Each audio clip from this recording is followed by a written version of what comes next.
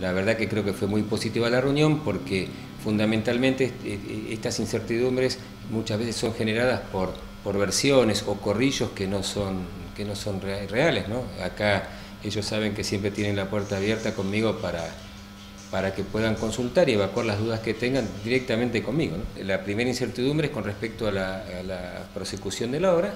Nosotros ya estamos... Eh, dispuestos a iniciar la obra. Ya hace dos semanas atrás podríamos haber empezado.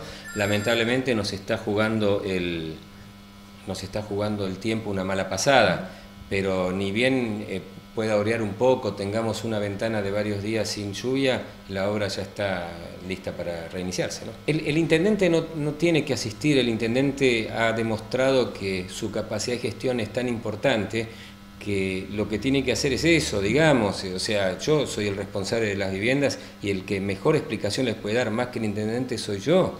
Entonces el intendente gestiona los recursos para que esto llegue adelante, jamás ha fallado y jamás ha incumplido su palabra. Ustedes ven esta ciudad eh, lo que es y es gracias a la gestión del intendente justamente. Si nosotros tenemos tres o, cuatro días eh, de buen tiempo, que se pare esta lluvia, esta humedad, no tenemos ningún problema en hacerlo.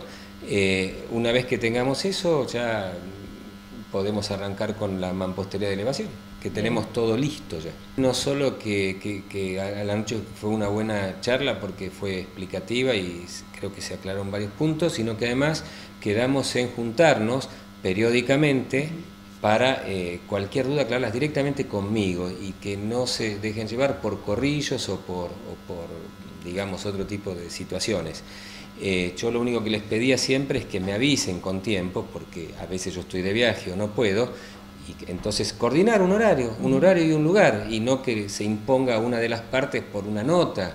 ¿Por qué? Porque a veces si yo ayer yo llegaba a estar de viaje y no asistí a la reunión, iban a decir que no los quise recibir, cuando yo los recibo siempre. Entonces lo que quedamos es en coordinar. Ellos todos tienen mi número de teléfono, me llaman, no hay ningún problema, coordinaremos un día y una hora cada tanto y nos juntaremos, ningún problema si acá no hay nada, eh, justamente yo creo que es tan importante una vivienda que lo mejor es que ellos estén enterados, estén informados y creo que directamente de mí lo pueden saber.